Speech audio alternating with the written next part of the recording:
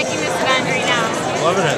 Yeah. Uh, I'm winning so much money right now. It's uh, it's awesome. You know? And it's all for charity. Exactly. So uh, we're having lots of fun. All the guys are enjoying it right now, and uh, um, it's a nice view, a nice spot. I've never really been here before, and it's awesome. Have you ever participated with your previous teams in an event like this? Oh, really? No, no, I don't think. I was in Minnesota and Montreal before. I've never done anything like it. It's, It's, uh, it's for a good cause, and uh, we're just trying to win some more money.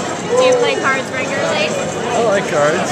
Uh, I You like mind it. cards? Yeah. uh, blackjack, actually, I got a sign for blackjack um, tonight, and uh, it's usually my game, so I'm trying to do my best. All right.